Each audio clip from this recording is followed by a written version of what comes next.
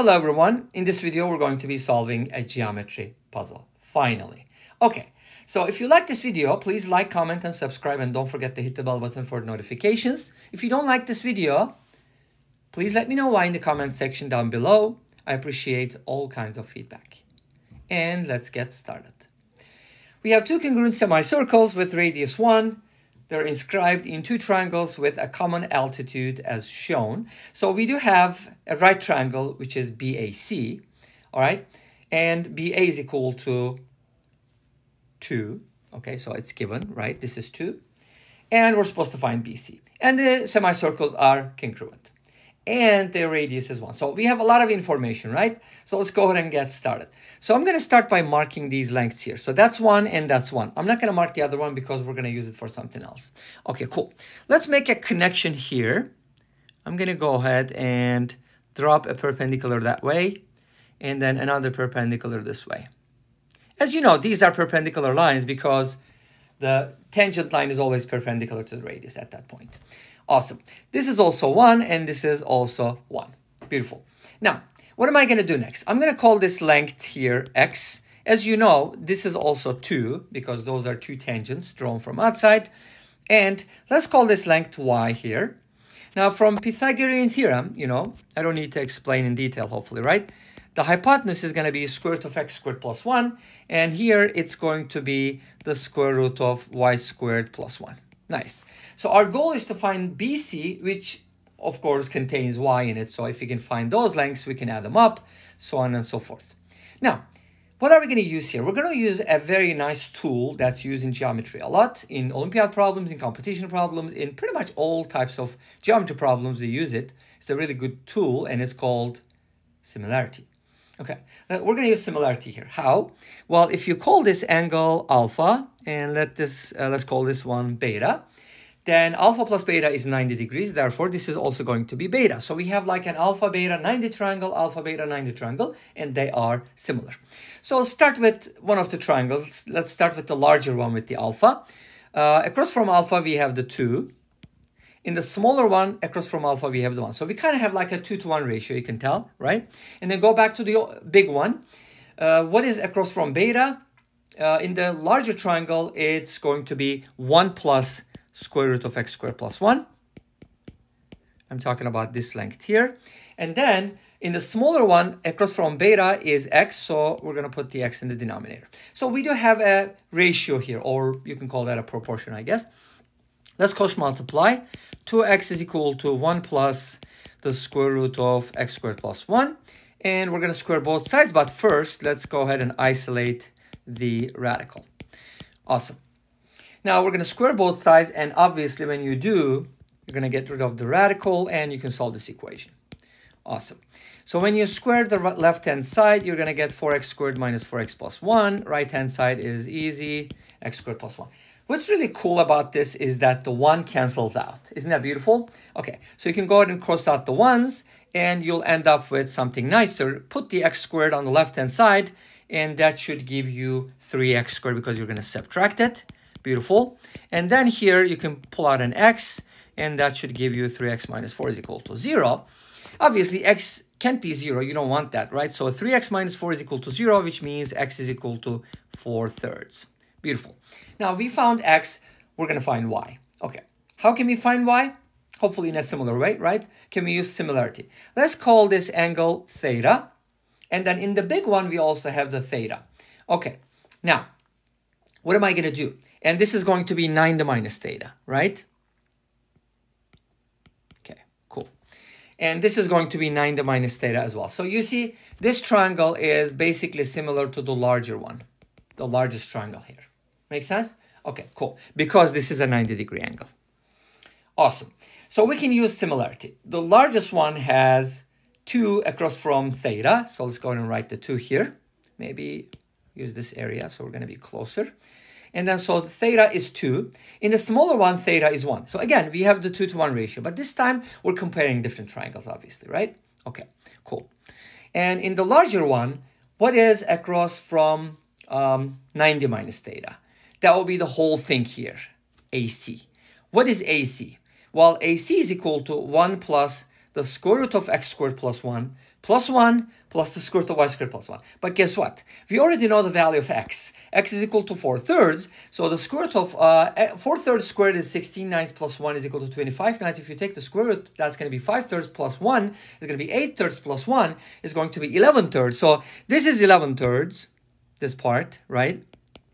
So you're just going to add the square root of y squared plus 1 to it. Make sense? Okay, awesome. Let's check it one more time.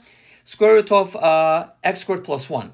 4 thirds squared is uh, 16 ninths, 25 ninths, 5 thirds, 8 thirds, and 11 thirds. Cool. It checks. So we have um, 11 thirds plus the square root of y squared plus 1 for the 90 minus theta. And in the smaller one, the 90 minus theta is y. Okay. Awesome. So now we have a similar equation for y, and we can hopefully solve y from here. Let's go ahead and do the cross multiplication. 2y is equal to 11 thirds plus square root of y squared plus 1. Isolate the radical. This time I'm going to put it on the left-hand side, which kind of looks a little, I don't know, I guess better. Maybe not. Okay. And then we're going to square both sides. Now, what happens when we square both sides? Well, something good happens because we get rid of the radical. And similarly, we get something nicer. y squared plus 1 is equal to 4y squared minus. Now, when you multiply these two things together, you're going to multiply them. You're going to get 22 over 3y, but you're going to double that, right? So it's going to be 44 over 3y. And then you're going to get 121 over 9. Okay, awesome. So that's the square uh, of 2y minus 11 thirds. What we can do is we can put everything on the right-hand side and simplify this more. So let's go ahead and do that here. We're going to get 3y squared minus 44 thirds y. Now I have, okay, I've, I've taken care of this. Now we're going to take care of this. 121 over 9 minus 9 over 9. What is that going to be? 121 minus 9. That's going to be 112, right? So that's going to be a positive 112 ninths. Great. Okay. And this is equal to 0. Nice. Now what I can do is, obviously that's going to help, right? Uh, multiply everything by 9. That's going to give me 27y squared minus. I'll get an uh, extra 3 there. 44 times 3 is equal to 132. y plus 112 is equal to 0. Beautiful. Now, what am I going to do next? Solve for y, right? Okay. How do you solve for y? Well, to solve for y, and by the way, after solving for y, we still need to find this length, right? How do you find that length? Well, here's the thing.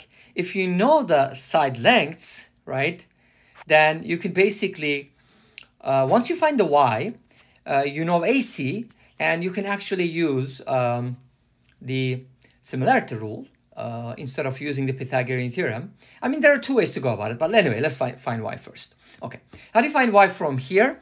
Well, let's use the Pythagorean theorem. I mean, what am I talking about? The quadratic formula. Okay, y is equal to negative b plus minus the square root of b squared. Oh man, that's a large number. Minus 4ac. Okay, cool.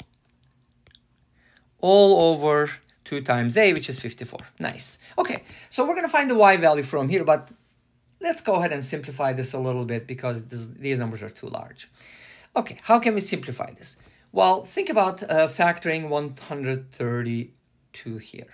132 is obviously 2 times um, 66, right? So I can kind of factor it as uh, 2 times, let me do this, okay, 2 times uh, 66, and then I could probably write it as 2 times uh, 3 times 11 uh, times 2. So it's, we can write it as 2 squared. So in other words, I'm doing the prime factorization. And then if I do it for, this, for the other piece, 2 squared, 3 cubed, and 112 can be written as, let's see, uh, 4, 4 times 28, right? Is that correct? Okay. And then 4 times 4 times 7, which is 2 to the fourth power uh, times 7. And this is going to give you basically 2 to the 6th, 3 to the 3rd, and 7. But this guy is squared here. So when you square that, it's going to give you 2 to the 4th, uh, 3 squared and 11 squared. Obviously, 11 isn't or 7 is not a perfect um, common factor. So, but what I can do is I can basically pull out uh, 2 to the fourth and 3 to the second, which is actually pretty good because that means we're taking out like a 144, which is nice, right? Okay, cool. Uh, that would be good. But And when you factor that out, inside you're going to have, oh, that's actually pretty much everything here except for the 11 squared. That's kind of nice. Minus, we have a leftover 2 squared, 3, and 7. Let's see if this number is less than 11 squared. I'm curious. 2 squared is 4, 4 times 3 is uh, 12, 12 times 8 84. Nice. So it's 181, what am I talking about? 121 minus 84, and that should be 37. Beautiful number, right? Okay, awesome. So basically, to keep a long story short, we can write this as, we can write the y as 132 plus minus the square root of 144 times 37. Isn't that nice? Okay, beautiful. Great simplification, and then we can take this out. We, if you take out the 144, it's going to be a 12. All right, let's see what happens next. That's going to be a 12, 37 inside the radical, and 54. Okay, common factors. Uh, 54 is divisible by 3s and 2s, but not by 4. Um, 3 is an option, 2 is an option, so that means we can divide by 6. Beautiful. And if you divide 132 by 6, uh, what do you get?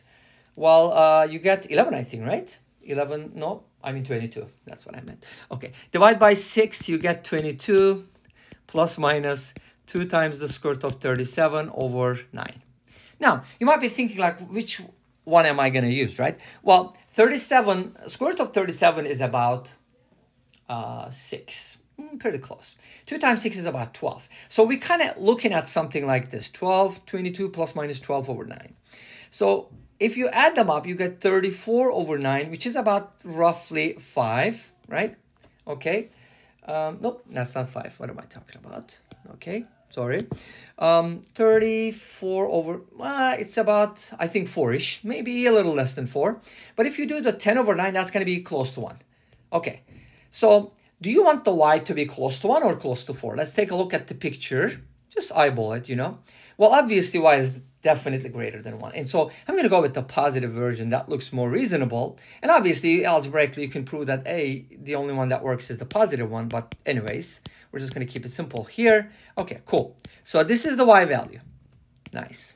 I got the y value. I got the x value. What am I going to do next? Okay, let me tell you what we're going to do next. Uh, we're going to use these uh, two of these values here. Uh, let me go ahead and do something here. Let me take this little piece here and then move it up. Here we go. I just want to, you know, I just want to put this up here so that I can, you know, and it's not easy to scroll down and use it at the same time. And where's my x value? Oh, x is 4 thirds. That's easy to do, right? Okay, so let me clean up this area and then I'm going to go ahead and set up an equation for BC because our goal is to find BC. All right, so let me go ahead and clear this area. I don't want to clear the y. So that's my y value. And then, uh, so let me clear this area. All right, cool. Now we know the y value and we know the x value. x is equal to 4 thirds, right? Okay, cool. X is 4 thirds. x is equal to 4 thirds. Nice. Okay, now what am I going to do to find the value of BC? Okay, here's what we're going to do.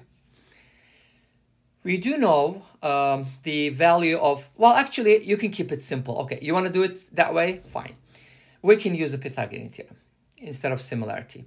I mean, that's kind of one way to approach it. But I think you will find this probably more helpful. I'm thinking, oh, it doesn't really matter. No big deal. Okay, fine. We're going to find AC and we know AB. And then we're just going to use Pythagorean theorem. Nice. Okay, cool. So what is AC? AC is equal to, AC is equal to, remember we calculated that already, 11 over 3, right? 11 over 3 plus the square root of y squared plus 1. Okay, what is that going to be? Well, I can just go ahead and square the y, right? If you square y, if you square y, you're going to get uh, 22 squared. I think that is 484, right? Yep, 484 plus if you square the second term, 4 times 37 is going to be 148. Plus, uh, you're going to multiply and double them, so it's going to be 88 root 37 over 81. So this is y squared. What you're going to do is you're going to add 1 to this number, okay? When you add 1, you're basically just adding uh, 81 over 81. So you're going to increase this by 81.